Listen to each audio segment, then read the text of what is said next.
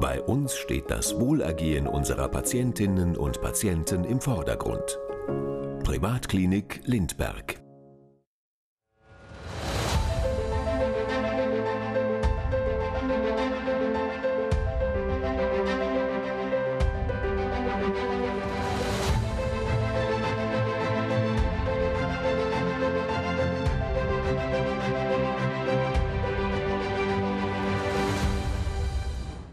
Im heutigen Topmed informieren wir Sie über das spannende Thema der Eigenbluttherapie und zwar im Bereich der Orthopädie. Für das begrüße ich zwei Fachärztinnen hier bei mir im Studio. Freut mich sehr, dass Sie beide da sind. Zum einen Frau Dr. Alexa Schmid-Steinbach und Frau Vivian Zentmeier-Molnar. Herzlich willkommen im Topmed. Dankeschön. Frau Schmid, ich tue es jetzt einmal mit meinen einfachen Worten erklären. Eigenbluttherapie bedeutet, man entnimmt am Patienten sein eigenes Blut. Es geht durch eine Zentrifuge und es wird wieder am Patienten gespritzt. Können Sie das vielleicht noch ein bisschen genauer formulieren?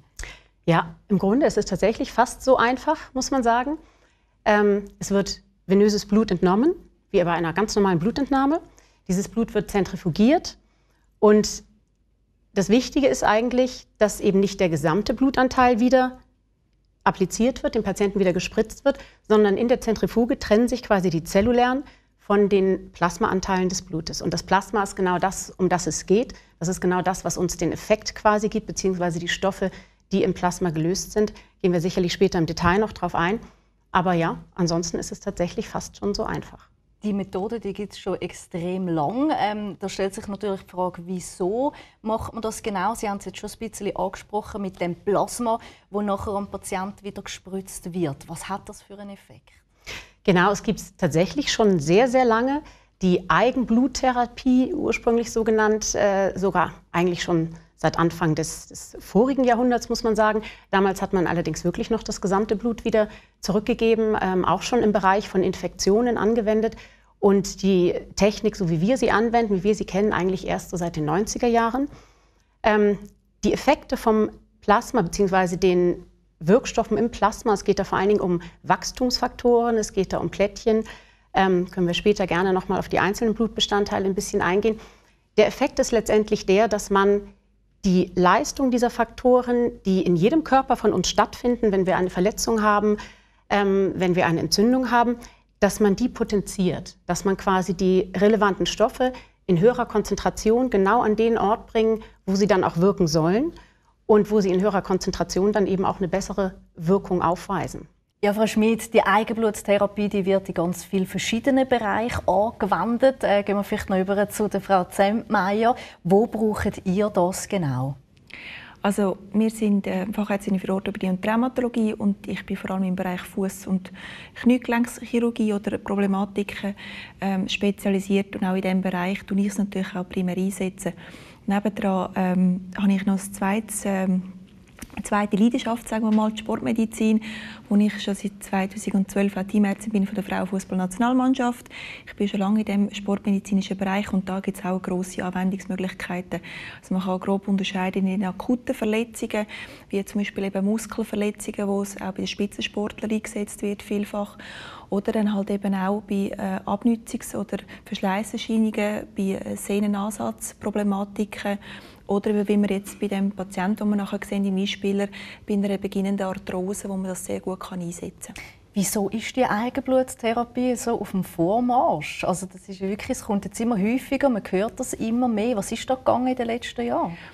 Naja, sagen wir so, es äh, gibt immer noch Alternativen zu der Eigenbluttherapie, gerade wie man, wo man immer wieder hört, das Cortison oder das Hyaluron. Ich glaube, der Stellenwert haben sie weiterhin in der Orthopädie.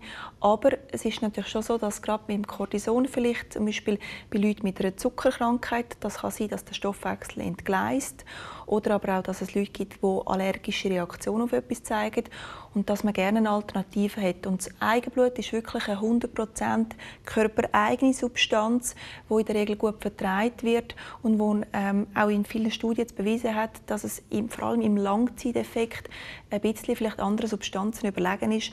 Und darum glaube ich, hat das immer mehr an äh, Boden gewonnen und auch viel mehr an Bedeutung. Und natürlich jetzt auch Studien, die man machen in den letzten paar Jahren und einfach die ganze Technik, die da weitergekommen ist. Ähm, Frau Zentmeier, es gibt die ACP-Therapie, das ist eben so eine Eigenbluttherapie. Was ist das genau? Also im Endeffekt sind es verschiedene Synonyme, die man hat. Also der Oberbegriff ist echt das sogenannte PRP, das ähm, äh, Plasma-Rich Platelet-Rich Plasma, Entschuldigung. Ähm, eigentlich das Thrombozyten angereichte Plasma, das was Schmid schon gesagt hat. ACP ist eigentlich äh, eine Art, ein Synonym ist ähm, äh, von der ähm, Firma Artex ein, ein eigener Handelsbegriff eigentlich für äh, das Gleiche eigentlich. Es sind Plasmabestandteile mit Thrombozyten. Frau Schmid, was passiert da genau mit dem Blut, wenn das so in so eine Zentrifuge hineinkommt? Was wird da nachher genau gewonnen? Ja, letztendlich ist der Prozess vom Zentrifugieren einfach dazu da, wie gesagt, die verschiedenen Bestandteile des Blutes voneinander zu trennen.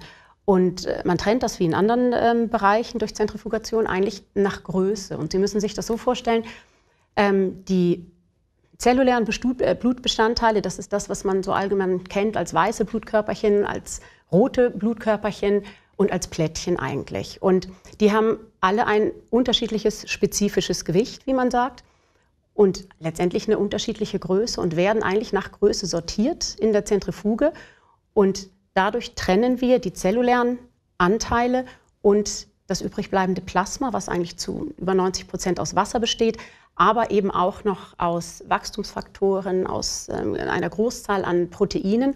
Und aber man nimmt in diese Plasmafraktion eben auch noch ganz wichtig diese Plättchen, weil die Plättchen eben äh, die Thrombozyten diejenigen sind, die letztendlich zur Stimulation von den Wachstumsfaktoren und von gewissen Heilungs- bzw. Regenerationsprozessen ähm, wichtig sind. Also da entsteht wirklich so eine Trennung. Mir kommt gerade nur in den Sinn, dass Achterbahnfahren dem Fall gesund ist, oder? Dann passiert das ja wie auch so ein bisschen im Körper. Ich kenne die Studienlage dazu nicht, aber es ist ein interessanter Aspekt. Aber ich glaube, wir sehen es nachher sehr schön im Einspieler, ähm, auch für, für jeden Patienten eigentlich klar ersichtlich, ähm, dass da etwas passiert tatsächlich, dass da etwas getrennt wird und welchen Teil wir dann wirklich verwenden für die Therapie. Ja. Wir haben vor der Sendung, Sie haben es gerade angesprochen, eben können aufzeichnen, wie so eine Eigenbluttherapie abläuft. Frau Zempmeier, da haben wir äh, einen Patienten von Ihnen, dürfen äh, so eine Eigenbluttherapie wirklich gerade durchführen. Das schauen wir uns jetzt dann gerade an. Was äh, hat der Patient für eine Erkrankung? Also das ist ähm, ein Patient, den ich noch häufig in der Sprechstunde auch gesehen habe. Das ist ein 71-jähriger Patient, ähm, der aber noch sehr aktiv ist mit Wandern und wo jetzt einfach der beginnende Arthrose entwickelt hat und das hat äh, zu einer Reizerscheinung im Kniegelenk geführt. Er hat äh, das Gelenk ist, äh, hat wie Reibung und der Körper probiert das besser zu schmieren, macht darum mehr Gelenksflüssigkeit, um das besser, äh, damit es besser wirklich geschmiert ist. Und die Gelenksflüssigkeit hat in der Kapsel irgendwann mal wie keinen Platz mehr und sucht sich dann halt einen Ausweg. Und dann oftmals passiert es, dass in der Kniekehle sich eine sogenannte Baker-Zyste bildet. Das ist ein Wort, das doch all, äh, vielen Leuten geläufig eigentlich ist. Und das ist wie eine Art ein zusätzliches Reservoir, das sich bildet, wo sich die Gelenksflüssigkeit dann ein bisschen entlastet entleert. Und er hat jetzt eine sehr grosse Beikerzüste, die man nachher in der Ultraschalluntersuchung auch gut sehen kann. Okay, ja, schauen wir uns das an sehr gerne. Und Frau Schmid, Sie dürfen gerade mal erklären, was man da sieht bei dieser Eigenbluttherapie. Gerne. Ja, wie gesagt, angefangen äh, das Ganze eigentlich mit einer ganz gewöhnlichen Blutabnahme, mit einer venösen Blutabnahme aus der Ellenbeuge, wie hier beim Patienten zu sehen ist. Das kennt wahrscheinlich jeder unangenehme Weise vom Hausarzt. Jetzt ist im Bild schon zu sehen diese spezielle Doppelspritze. Das ist ein Spritzensystem in der Spritze. Man sieht jetzt hier, wie das venöse Blut durch dieses kleine Schläuchlein da in die Spritze gefüllt wird. Abgenommen werden 15 Milliliter. Das ist das, was Platz hat in dieser Spritze.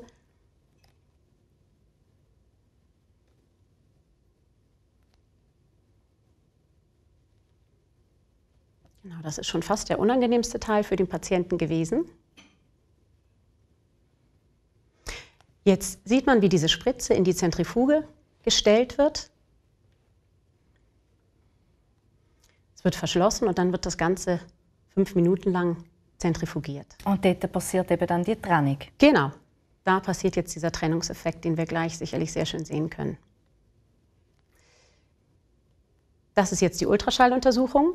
Das ist, ähm, ja, man wundert sich vielleicht ein bisschen über das Format, ein sehr elegantes ähm, Handheld-Ultraschallgerät, weil wir uns das natürlich jetzt hier nicht auch noch mit in die Sendung bringen konnten.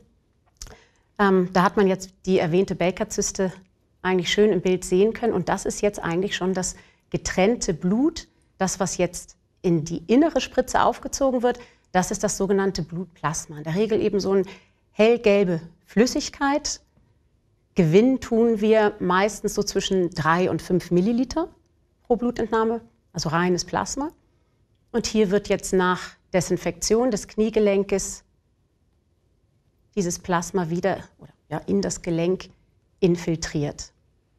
Also es ist wirklich unglaublich, wie das jetzt da rasch und schnell geht. Ja, es ist jetzt sicherlich ein bisschen der Zeitraffer, aber ehrlicherweise auch bei uns in der Praxis dauert die ganze Prozedur eigentlich äh, zwischen ja, 15, 20 Minuten vielleicht maximal. Ja. Sie haben so eine Spritze jetzt hier ähm, genau. auch noch für die Sendung parat gelegt, weil das ist unglaublich spannend. Das ist eine Spritze in der Spritze. Können Sie uns das mal erklären? Nochmal? Was passiert da genau? Genau. Die ich Idee dass Sie dahinter, sich ein bisschen dass genau. genau. Die Idee dahinter ist eigentlich vor allen Dingen, dass man so wenig wie möglich manipulieren muss mit dem Plasma, dass man es nicht in dem einen Gefäß quasi entnimmt, um es dann wieder in ein anderes zu füllen und es dann erst zu infiltrieren.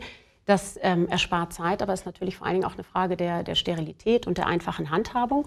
Und hier ist es jetzt tatsächlich so, dass mit der ersten Spritze eigentlich das Blut in die größere der beiden Spritzen aufgezogen wird. Da sieht man die Markierung, das sind die 15 Milliliter. Und dann wird das Ganze zentrifugiert. Und dann können wir das Ganze einfach mit einer Handbewegung lösen und haben dann hier drin das natürlich dann aufgezogene Plasma, was man eben in dem Einspieler gesehen hat, und können dann genau aus dieser Spritze eben ähm, das Plasma auch wieder infiltrieren. Eben, es sieht wirklich so einfach aus und, und wir haben das ja vorher gerade im Studio so gemacht. Es ist unglaublich schnell auch gegangen, wie Sie gesagt haben, bei Ihnen in der Praxis geht das vielleicht irgendwie 10 Minuten, eine Viertelstunde. Auf was muss man achten? Was sind vielleicht gleich noch Gefahren, wo man ein vorsichtig sein muss? Gut, ich denke, das ist prinzipiell wie bei jeder Infiltration, die man vornimmt und vor allen Dingen Infiltration, die man im Gelenksbereich vornimmt, dass man ähm, nach hohen Sterilitätskriterien arbeitet. Das heißt, es muss wirklich sauber gehandhabt werden, das Material, ähm, es muss äh, desinfiziert werden. Ähm, das sind eigentlich aber in der Orthopädie sowieso, sage ich mal, die ähm, gängigen Arbeitsprinzipien, was jede Infiltration angeht. Es ist dann etwas ähm, der zeitliche Faktor, das hatten wir im Vorfeld auch schon mal angesprochen. Ähm, dieses Plasma darf nicht zu lange quasi liegen oder in dieser Spritze verbleiben, weil es dann möglicherweise eindickt und dann kann man es äh, nicht mehr gut applizieren. Das heißt, man muss wirklich auf einen gewissen flüssigen Arbeitsprozess acht geben. Ähm, die generellen ja, möglichen Risiken sind, wie gesagt, ein sehr, sehr geringes Infektionsrisiko, einfach generell, wie wir bei jeder Infiltration, ähm, Blutabnahme oder ähnlichem allenfalls haben. Aber die Risiken sind tatsächlich beim ACP eben wirklich sehr gering. Wie Frau Zentmeier schon gesagt hat, vor allen Dingen Reaktionen auf ähm, das Plasma, weil es eben wirklich das eigene ist. Dafür steht eben dieses ACP, auch mhm. autologes konditioniertes Plasma. Das heißt, wir haben keine ähm, Fremdkörper oder allergischen Reaktionen eigentlich darauf. Und das äh, macht eben auch den großen Vorteil, dass es eigentlich mehr oder weniger für jeden verträglich ist mhm. und für jeden anwendbar ist. Frau Zentmeier, könnte man auch Blut von jemand anderem nehmen?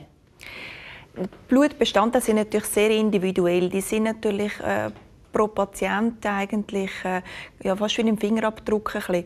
Und es ist natürlich schon so, dass wenn man Blut oder das Blutplasma von einem anderen Patienten nicht, dass es eine immunologische Reaktion könnte geben dass es einfach als körperfremd natürlich erkannt wird und das sollte man entsprechend nicht unbedingt machen. Also das eigene Blut ist eigentlich schon das, was man verwendet. Sie haben das Blut jetzt vorher gespritzt. Ähm, man tut nachher mit dem Patienten das Knie noch ein bisschen wieder dehnen oder einfach dort, wo es gespritzt wird. Was passiert nachher? Kann er wieder rauslaufen oder gibt es dann da nochmal Ja, das hat man im Spieler gar nicht mehr gesehen, aber im Prinzip ist es wirklich so, dass man es ein bisschen durchbewegt, dass es sich gut im Gelenk verteilt, aber der Patient kann unmittelbar nach der Spritze eigentlich wieder aufstehen und kann ähm, normal heilaufen, ohne jegliche Probleme. Es gibt vielleicht Leute, die einen kleinen Druck verspüren, weil man durch ein bisschen mehr Flüssigkeit in die Gelenkskapsel hineingespritzt hat, als es vorgängig hatte. Aber grundsätzlich gibt es da eigentlich keine größeren Einschränkungen ich glaube, eben, wenn ich das ergänzen darf, ist, ist vielleicht auch ähm, ein bisschen zu unterscheiden, wo wir das applizieren. Ähm, Sie hatten es gesagt, es gibt wirklich ein sehr breites Anwendungsspektrum. Ich persönlich bin jetzt ähm, im Gegensatz zu Frau Dr. Zentmeier spezialisiert auf Schulterchirurgie und, und Hüfte. Und gerade im Bereich der Schulter gibt es tatsächlich sehr viele ähm, Anwendungsgebiete. Und da spritzen wir nicht unbedingt nur ins Gelenk, ähm, sondern eben auch im Bereich von ähm, heilenden Sehnen oder chronisch entzündeten Sehnenansätzen. Ähm, auch im Bereich des Ellbogens ist so eines der, der großen klassischen Beispiele, die auch, ähm, wo die Studienlage auch ähm, sehr gut erforscht ist. Der Tennisellbogen ist vielleicht auch etwas, was, was vielen ähm, bekannt ist, was viele vielleicht äh, leider auch schon mal selbst erlebt haben. Ähm, da haben wir natürlich auch andere Platzverhältnisse, als wenn wir jetzt in einen vorgegebenen Hohlraum wie das Gelenk spritzen. Das heißt, da kann es schon über einige Tage zu ähm, gewissen Reizsymptomen lokal kommen, aber eben auch einfach durch den sich aufbauenden Druck, aber ein Stück weit auch durch die Reaktion, die wir letztendlich ähm, erreichen wollen und die wir anstoßen mit der Behandlung. Aber mehr als eine relative Schonung über zwei, drei Tage, das heißt vielleicht jetzt nicht gerade hier rauslaufen und Sport spielen gehen oder ja. eben klassischerweise dann eben auch Tennis. Ähm, ansonsten braucht es äh, nicht viel. Sie arbeiten jetzt vor allem mit der Zentrifuge, ähm, Frau Zentmeier. Gibt es auch Methoden, dass man dem Blut selber auch noch etwas zufügt und es dann wieder am Patient spritzt? Das ist ein bisschen Zukunftsmusik. Also das sind äh, verschiedene Studien im Gang, wo man wirklich ähm, äh, Forschung betreibt. Es ist natürlich schon so, dass man eigentlich mit dem ACP oder mit dem PRP, wo der Überbegriff eigentlich ist, ähm, nur dort Heilung kann forcieren oder fördern, wo auch Substanz zum Heilen ist. Und gerade äh, wenn es irgendwo eine Defektzone ist oder Substanzdefekte da sind und eigentlich wie das Baumaterial fehlt, also man kann nicht nur den, den Baumeister auf den Bauplatz schicken, sondern man muss auch das Baumaterial mitliefern. Und da sind jetzt wirklich äh, Studien im Gang, wo man zum Beispiel aus dem Knochenmark Zellen nimmt, wo, wo so so ähm, potent noch sind, die können sich in alles verschiedene Gewebe entwickeln und dass man so Zellen hinzufügt. Aber das ist vielleicht ein bisschen noch Zukunftsmusik. Sie haben vorhin gesagt, dass es im Unterschied zu einem Medikament auch eine längere Wirkung hat und auch die Langzeitstudien zeigen, dass das wirklich eine gute Sache ist. Wie viel Mal muss man dann kommen, wenn man jetzt sagt, gut, ich möchte jetzt gerne mit einer Eigenbluttherapie arbeiten, zum Beispiel mit dem Knie oder mit dem Fußgelenk? Ja. Bin ich dann alle Wochen bei Ihnen oder? Jein. Ähm, es ist schon so, dass ähm, mit der Eigenbluttherapie sich so ein etabliert hat, dass man zwei bis drei Spritzen im Abstand von einer guten Woche macht. Auch ein bisschen abhängig davon, wie die Reaktion jeweils ist vom Patienten. Eben wie wir schon eingangs gesagt haben, es ist im Prinzip, wie soll ich sagen, Förderung der Selbstheilung und es ist im Gegensatz zu einem Cortison, wo man spritzt, wo einfach von Beginn weg eigentlich gegen die Entzündung kämpft, ist es dort so, dass eigentlich im ersten Schritt die Entzündung fast ein bisschen angefacht oder angeflacht wird, dass es mehr äh, Entzündung gibt und das aber dann zu einer Selbstheilung kann führen und im Langzeitverlauf dann in vielen Studien, man findet immer etwas, das dagegen spricht, aber in vielen Studien dann halt doch der ähm, anderen Substanzen ein bisschen überlegen ist. Und durch das, dass man ja wirklich eigentlich etwas im Körper wieder gibt, was er ja schon hat, besteht eine Gefahr, dass er, oder gibt es das, dass dann ein, ein, ein Patient das abstoßt, was man ihm dann... Nein, eigentlich eben nicht. Eben Im Gegensatz zum eben Cortison oder Hyaluron, das ist so die Gelenkschmiere, die so die Alternativprodukte sind, die man kann spritzen kann, gibt es da eigentlich äh, bezüglich dieser allergischen oder immunologischen Reaktion vom Eigenblut eigentlich weniger. Sie haben es vorher angesprochen, Sie sind eben auch als Sportärztin unterwegs, ähm, vor allem auch im Bereich des Fußball. Ähm, wo, wo brauchen Sie das am meisten? Oder wo ist es dort gut mit so einer... Im Spitzensport ist es schon lange etabliert, zum Beispiel eben auch bei Muskelverletzungen, also wirklich, dass es bei, bei Muskelzerrung oder Muskelfaser oder Bündelriss zum Beispiel eingesetzt wird. Ähm, es ist eben auch dort, vor allem bei der Überlastungsproblematiken ähm, der Sehnen, gerade auch zum Beispiel im Fußbereich Achillessehne, das ist die kräftigste Sehne eigentlich im Körper, hat eine enorme Spannung. Und wenn man Cortison zum Beispiel an Sehnen ansetzt oder überhaupt zu den Sehnen anspritzt, ist das äh, mit einem gewissen Risiko verbunden. Das macht die Zähne ein bisschen spröd. Das tut eigentlich den Heilungsprozess, was die Entzündung ist, abrupt ein bisschen abbremsen. Und gerade im Bereich von der Achillessehne ist, wenn man Cortison spritzt, eigentlich halt das Risiko von einer Achillessehnenriss auch da. Das heißt, äh, gerade in diesem Anwendungsbereich ist zum Beispiel das Eigenblut auch eine sehr gute Alternative. Sie arbeiten auch mit jungen Menschen. Also wir haben vorher beim Einspieler gesehen, dass es ein Patient war, der 71 ist, aber Sie arbeiten auch mit jungen Menschen. Was ist so das Jüngste, was Sie haben bei Ihnen in der Praxis?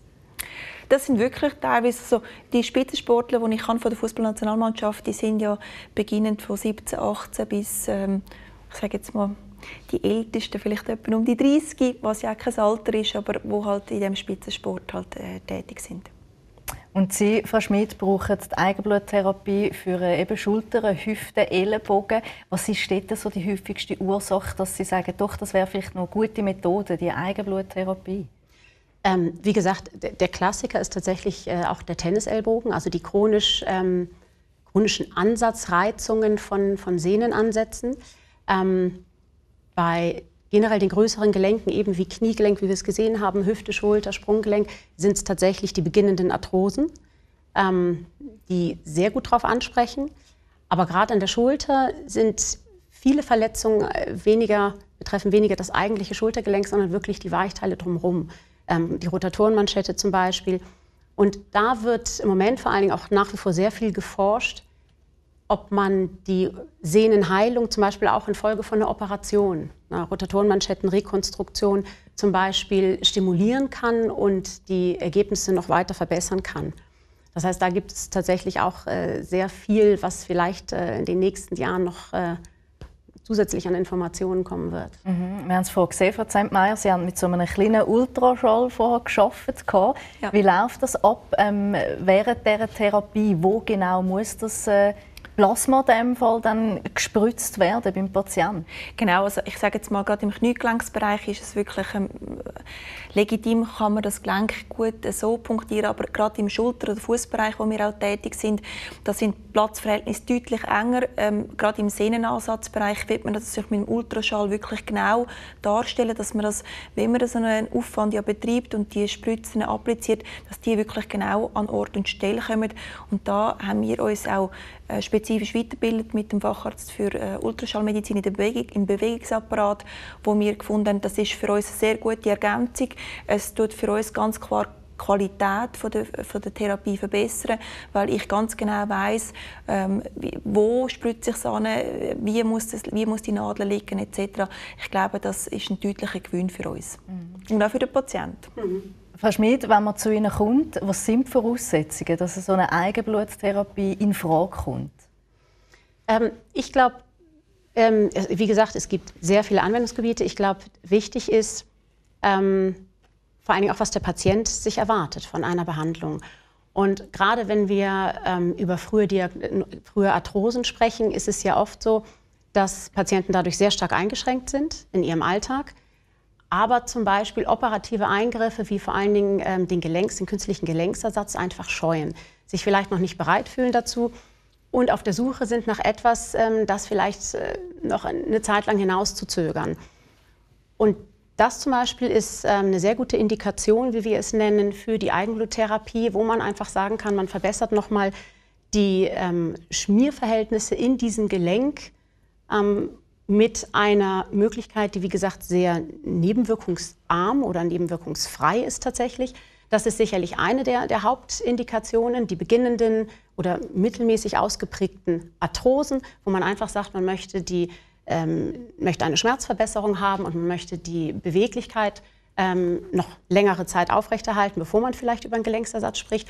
Und das andere sind, wie gesagt, die ähm, chronischen Ansatzproblematiken oder Sehnenverletzungen, Sehnenrupturen, gerade auch im Schulterbereich. Das ist auch so ein typisches Beispiel. Eine Schulteroperation ähm, ist vielleicht bei manchen Verletzungen gar nicht zwingend notwendig, wenn wir mit Anwendung von äh, Eigenbluttherapie vielleicht die eigenen Heilungsprozesse, äh, Regenerationsprozesse ein Stück weit anstoßen können und dann möglicherweise eben auch eine Operation umgehen können für den Patienten. Und das ist das, was, was viele möchten. Ja. Was gibt es da abzuklären? Wenn ich zu Ihnen komme, was passiert da genau in den ersten Schritten? Also ähm, eine wirkliche Kontraindikation, das heißt Patienten, wo wir sagen, nein, da ist es wirklich nicht anwendbar, diese Therapie, ähm, gibt es praktisch nicht, bis auf akute Infektionen, vor allen Dingen natürlich in dem Bereich, wo die Therapie allenfalls zur Anwendung kommen soll. Und zum Beispiel ähm, Bluterkrankungen, natürlich vor allen Dingen bösartige Bluterkrankungen, wo das Ganze sicherlich auch nicht empfohlen ist. Ansonsten ist eben auch wieder das Schöne, im Gegensatz zum Beispiel zum, zum Cortison, wo wir Patienten haben, die möglicherweise einen Diabetes haben oder einen Bluthochdruck, beides Erkrankungen, die entgleisen können nach Cortisongabe. Und das sehen wir halt einfach in der Eigenbluttherapie nicht. Das heißt, auch solchen Patienten sind dann solche ja, Therapien, alternative Therapien ähm, zugänglich. Und das wird wirklich sehr geschätzt. Aber prinzipiell an Abklärung bei uns in der Sprechstunde gehört eine Anamnese dazu. Es gehört immer eine gründliche ähm, körperliche Untersuchung dazu. Wir bedienen uns, wie gesagt, beide des, des Ultraschalls, was ähm, nochmal ein zusätzliches Diagnostikum ist. Und dann muss man schauen, was, was der Patient wirklich erwartet, was sein Leidensdruck ist und was wir ihm anbieten können. Und eben, Frau Zentmeier, noch ganz schnell zum Schluss. So wie ich jetzt das verstanden habe, ist es nicht so, dass es eine Langzeittherapie muss sein, sondern dass wirklich auch ähm, kurzfristig eingesetzt werden kann. Genau, also im Prinzip sind es wirklich halt in der Regel zwei bis drei Spritzen, ein bisschen im Abstand von einer guten Woche bis zehn Tagen, ein bisschen abhängig von der ähm, Reaktion, wie der Patient darauf reagiert, ähm, sprich, ob es eine stärkere Entzündungsreaktion gibt oder nicht. Und äh, das ist aber das Ziel, dass man einfach längerfristig den Effekt davon hat. Also es ist nicht so, dass der Patient ähm, bei mir Durchgast ist und dann äh, alle paar Monate wieder muss äh, antraben, sondern das ist wirklich ein, äh, eine Möglichkeit, eben zum Beispiel einen Gelenksersatz rauszuziehen und dass man vielleicht auch noch Monate gewinnt. Frau Zentmeier, Frau Schmidt, danke Ihnen vielmals, dass Sie beide heute bei mir im Top mit sind. Sehr, sehr spannend, die Eigenbluttherapie im Bereich der Orthopädie und Ihnen die Heime hoffentlich hat es auch Spaß gemacht zum Zuschauen und ist spannend gewesen. Bleiben Sie gesund und bis zum nächsten Mal.